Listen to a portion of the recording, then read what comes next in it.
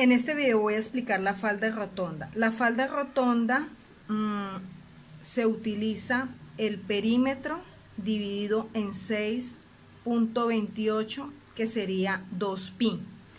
Esta técnica la podemos aplicar eh, pues lógicamente en faldas, en pantalones, en vestidos, en mangas, eh, puede ser un puño, puede ser un cuello. Entonces, vamos a tomar como ejemplo eh, la medida de la talla 8, sería 68 dividido en 6.28 me da 10.82. Hago ángulo ángulo recto del ángulo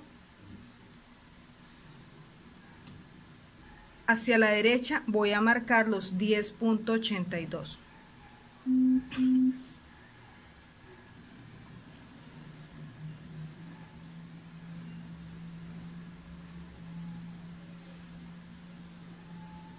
esto sería la cintura. Y a partir de la cintura voy a tomar el largo de la falda. Voy a tomar un largo de falda de 60 centímetros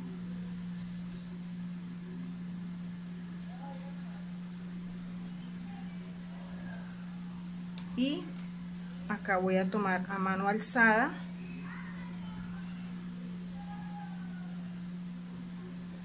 La medida. Debe salir doble estela y doble estela para cortar. Esta es la cintura. Hacia afuera daríamos la costura acá hacia abajo la costura.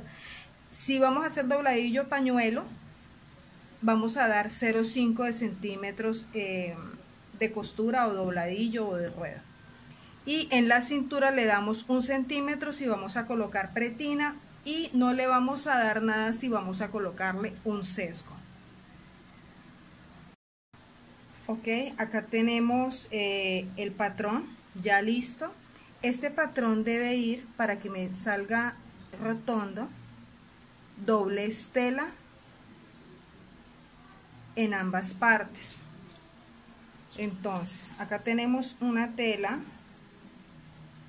la doblamos y volvemos a doblarla o sea que la estamos doblando en cuatro.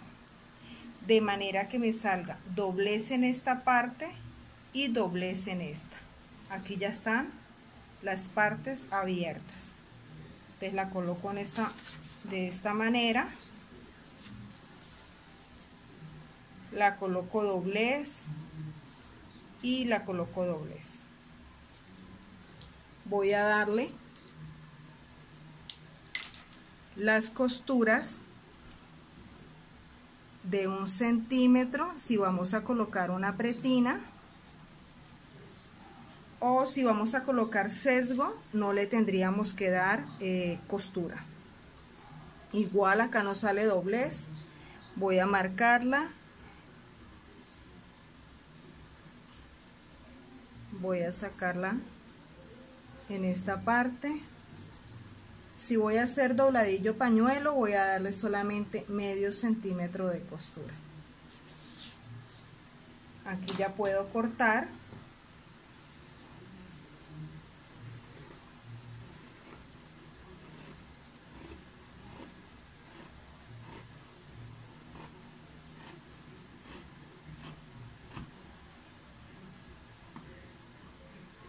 Y corto acá por donde está la cintura.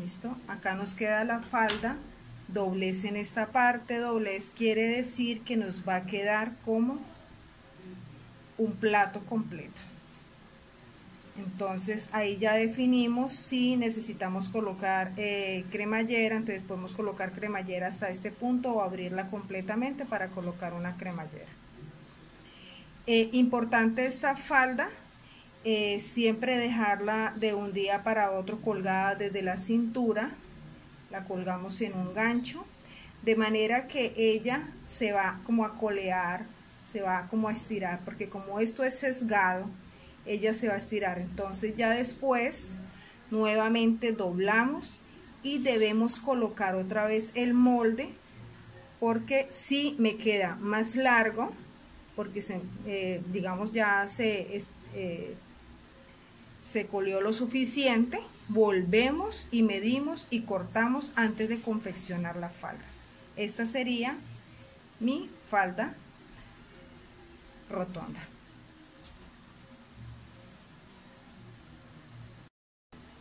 Y para la falda media rotonda tenemos el mismo perímetro dividido en dos piques 6.28 pero lo vamos a multiplicar por 2 entonces seguimos con el mismo ejemplo cintura 68 dividido en 6.28 me da 10.82 multiplicado por 2 me da 21.6 esos 21.6 es la medida que yo voy a tomar en esta posición exactamente la misma medida. Bueno acá mano alzada voy a completar mi cintura. Y a partir de esa curva de esa medida voy a bajar el largo de la falda. Vamos a dar largo de falda de 60 tomo los mismos 60 centímetros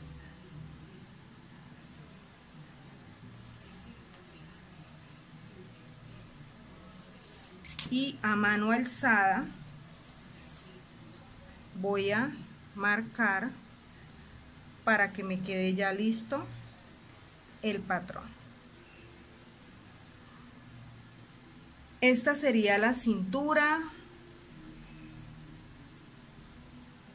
y eh, podemos decir que estos dos serían los costados.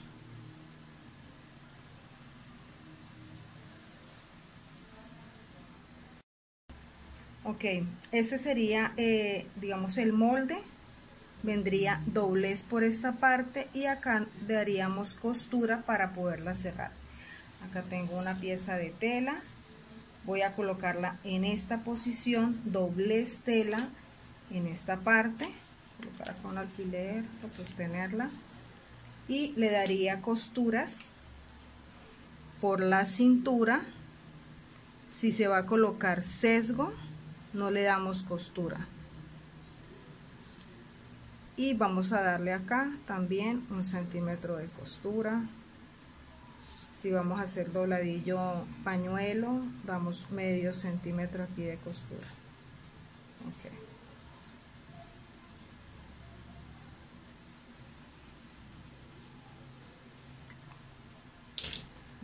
cortamos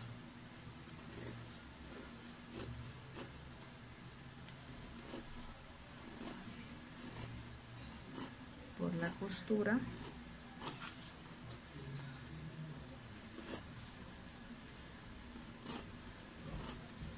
Acá donde va la cremallera pues tendría que ser puede ser que yo diga que ese es mi centro atrás o que de pronto quiera colocar la cremallera en un costado. Ok. Esta sería mi falda media rotonda. Al abrirla lógicamente me va a quedar la mitad de la rotonda. Esta parte es donde me va. Vamos a colocar la cremallera podría ser para la parte de atrás y la parte delantera